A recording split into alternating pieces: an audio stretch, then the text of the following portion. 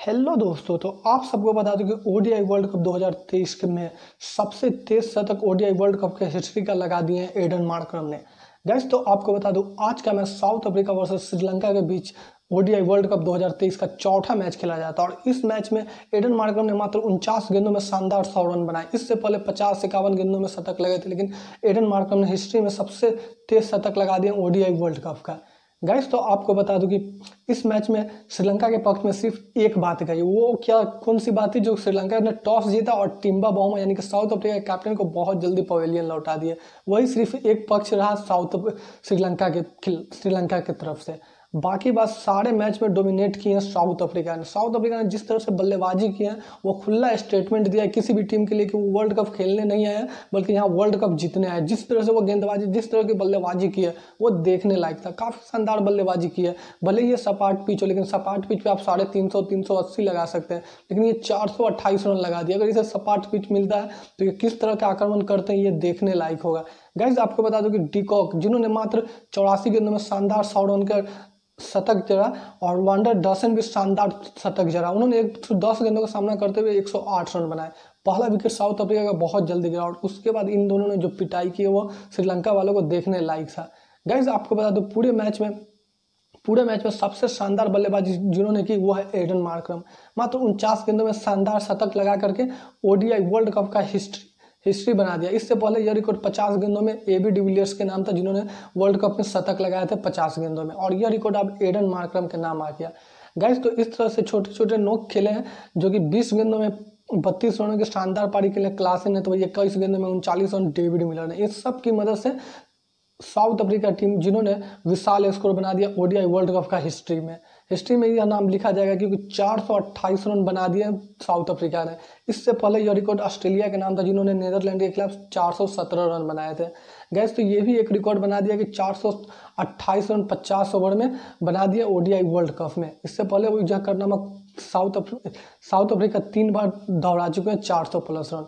Gas तो आपको बता दो, जिस तरह से बल्लेबाजी हुई, वो देखने लायक था। किसी भी टीम के लिए खुला स्टेटमेंट दे दिया इन्होंने कि मैं यहाँ जीतने आया हूँ, खेलने नहीं, बल्कि खिलवाड़ किया श्रीलंका के गेंदबाजों के साथ खास करके मथीसा, पथिराना और वेला लाए के खिलाफ क्योंकि ये ये दोनों अपना डेविड कर रहे थे और डेविड में किस तरह से किसी भी बॉलर का पिटाई किया जाता है, वो देखने लायक था। वो इन्होंने बताया कैसे डोमिनेट किया जाता है किसी भी गेंदबाज के टीम के अगर थोड़ा भी कमज़ोरी पड़ा तो वो बहुत पिटाई करेंगे।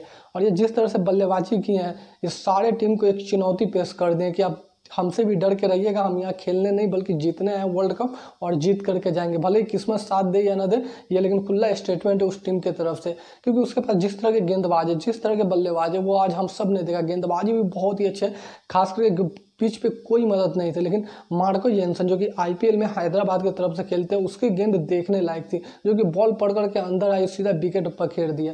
तो ये दो गेंदबाज है, बहुत ही अच्छा साउथ साउथ अफ्रीका के गेंदबाज हो या बल्लेबाजी पक्ष हो, बहुत ही अच्छे पक्ष है। गैस तो आपको बता दूँ, श्रीलंका की तरफ़ से बल्लेबाजी करना है कुशल मेंडिस, जो कि पूरे श्रीलंका के पक्ष में कुशल मेंडिस, जो कि बहुत ही अच्छे बल्लेबाजी कर रहे थे। उन्होंने मात्र बावन गेंदों में छिहत्तर रनों की एक शानदार पारी खेली।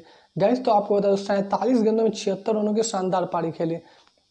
और उसके बाद असलंका, जो कि पैंसठ गेंदों में, वो भी उनासी रन का शानदार पारी खेली। और उसके बाद दसम सनक्का भी बासठ गेंदों में अड़सठ रनों की एक शानदार खेली। ये इस, जिसके वजह से श्रीलंका भी पहुँच गई 326 लगभग अगर 380 नब्बे रहते तो चेस करने के कगार पे रहते, लेकिन श्रीलंका मात्र पैंतालीस ओवर लगभग खेले और इसमें 326 बना दिए हैं। गैस और इसके तरफ़ से जो बॉलिंग साउथ अफ्रीका की तरफ़ से जो बॉलिंग कर रहे थे मार्को येंसन हो या फिर डिव्यूटन जिराल्ड कोटजियो दोनों ने शानदार गेंदबाजी की है। एक ने तो पंचानवे खाए, मार्को मार्को जेंसन बिरानवे रन खाए हैं तो दूसरी तरफ़ से अड़सठ रन दिए हैं नौ ओवर में और तीन विकेट अपने नाम किए जिराल्ड कोटजी भी। तो दोनों ने गेंदबाजी बहुत ही अच्छी की है, जिसकी वजह से साउथ अफ्रीका इस मैच को आसानी से जीत लिया। वैसे भी बहुत सारे रन थे तो ये मैच तो जीतना ही था साउथ अफ्रीका को। गाइस तो आपको बता दो साउथ अफ्रीका गेंदबाजी हो या बॉलिंग अब कुछ भी कमज़ोर नहीं है और फील्डिंग तो काफ़ी शानदार है। साउथ अफ्रीका का फील्डिंग तो हम सब जानते हैं किस तरह से, भले ही आज एक दो कैच गिरा हो, लेकिन साउथ अफ्रीका का फील्डिंग देखने लायक होता है, वो जिस तरह से फील्डिंग कर रहा है। सिर्फ़ उसकी किस्मत खराब होती है, जिसकी वजह से वो वर्ल्ड कप के सेमीफाइनल में हार जाता है और उसमें बारिश होना लाजमी होता है।